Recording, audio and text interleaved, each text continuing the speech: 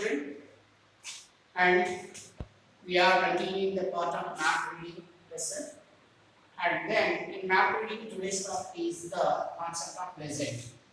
In our previous lessons, we discussed about the globe. And afterwards, the topic what we covered is directions. Afterwards, we talked about mapping scale. Then, in our previous session, we talked about colors, color indicators. These were covered. And directions that we discussed in the north, south, east, west. And other one, directions we covered. And next one, scale. Scale is here. And with the help of the scale, how can we find out the distance between any two places uh, we, uh, it was practiced. And on that day, we uh, knew, we uh, found out the distance between the Mumbai city and Hyderabad a way with the help of the scale, mapping scale. And then, afterwards, the other one what we learn is related to colors. What are the colors present in this like that and what do they tell us about? That topic was discovered in previous mapping class. Now coming to the other one, the present topic is uh, legend. It is the basic. In this map, here is the present uh, concept present that is the legend. And in this legend, you can find out certain symbols present. These symbols tell us or give us some information regarding of the map. The information is like that. And here, for example, this star symbol is showing that it is the country's capital city. And here is that symbol. And this symbol you don't find anywhere in this map. Only in this part you can find. And this part indicates the country's capital city. Our country's capital city is Delhi. So that it is mentioned. So this symbol, with the help of this line, we can find out this like type of capital cities. And another way, suppose here another country is there. Here he kept a small red dot and he said that state headquarters. And here one name is mentioned Jaipur. Jaipur is present here. Jaipur is the headquarters of Rajasthan state. Similarly, as on today, there are 29 states in our country. And you can find out another city here, Hyderabad. So Hyderabad is also a state capital. It is the state capital of Telangana.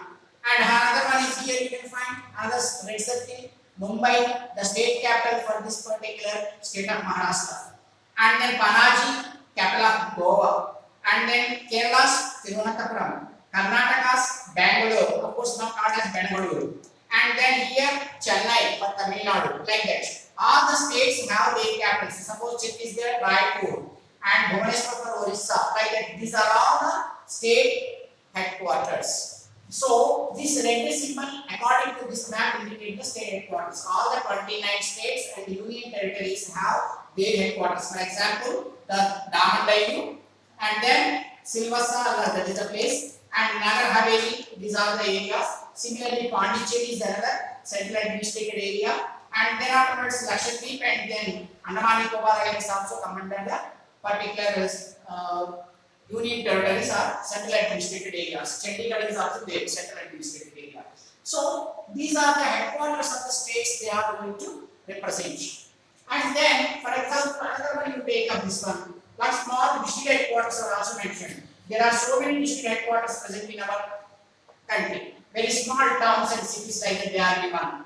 For example, here Warangal and Karimnagar, Nizamabad, Adilabad, and there are some places like Bhadrachalam, like they mentioned. These are all the different areas of the district headquarters like that. But one thing we have to know, in this map, because of the uh, place like that, all the districts of the country are not mentioned.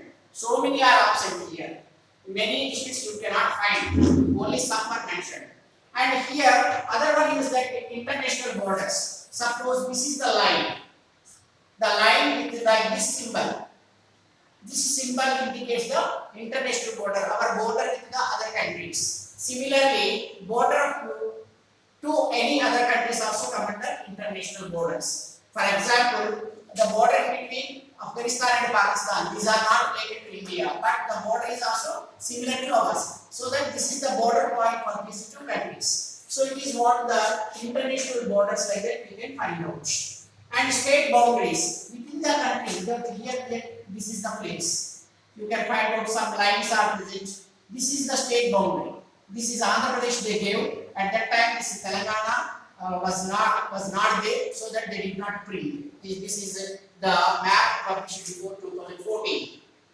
Okay, next one, the coming to other one is blue color lines that indicates the rivers. In previous time we discussed that the blue color, whatever the blue color like this is present, it indicates the places of water or the hydrological concepts like and here you can see so many blue color points are there. These are all the reservoirs or lakes. And then inside the lines that are drawn in blue, they indicate the rivers or streams. And there are so many rivers present. The blue lines are passing in different directions. So these are all indicating the reverse. they are draining to this. So this is what the legend according to them. This is the key concept of the map of understanding. With the other concept we will uh, meet again related to this map.